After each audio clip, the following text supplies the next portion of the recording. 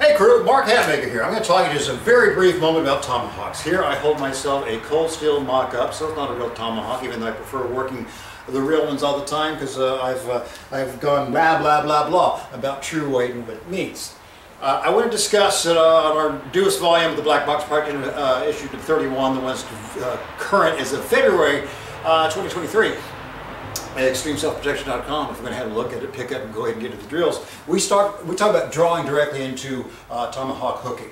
Uh, hooking is basically striking with the eye of the tomahawk, which is uh, this top headed position here where the haft would be dr uh, driven down uh, uh, where the meets the blade and actual, the, the skunk works of this whole thing right here where we've got the inertial work going on.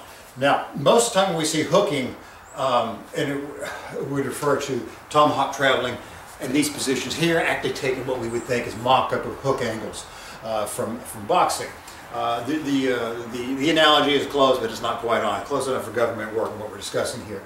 Uh, often what we see in uh, tomahawk manuals that are extant from this last century and, and, things now, we'll see things that are pretty much, you can tell, you know, this is just stick work and a sword system that's been applied to this. And we're saying, yes, yeah, tomahawk. It's not. Uh, this is an inertial weapon, that's not how it was done. Historical record also tells us it wasn't done that way. Yes, there were some strikes going on with the eyes. There was tomahawk hooking, but I'll tell you this right now, it was not done this way, where you're, you've got your tomahawk and you're striking uh, as such. And here's how I can tell you, to uh, let you know, to disabuse you of this idea. If you think, yeah, that's how it's done, it's not. Go out to your training post, whether that be the designated trees in your forest, or perhaps you sunk your uh, bit of telephone pole in the ground, and poured your concrete in, you got your base and all this. Grab your mock-up or your tomahawk, and you can strike into that thing. I'm not going to...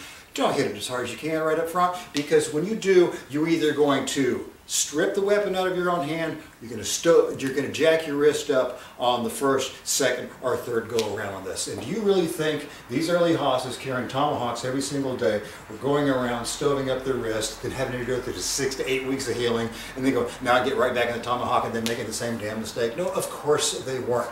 There is a way to do true old school uh, rough and tumble uh, tomahawk hooking uh, but I'll tell you right now, that ain't it. Uh, and it's also got an unusual way to go with the grip. It has a, a, little bit of a friction coefficient with it to back it up, make the grip easier on you to make sure you don't have any slides in. It's all done up half, and it's all always done off of a draw. They come right uh, the three types of draws, right back into uh, the different, uh, a dozen ways to come out of that, uh, that hooking so it goes from draw to hooking directly into another follow-up. Some of it's a stealth shot, and some of it's just the big hairy. This is the finishing shot right here.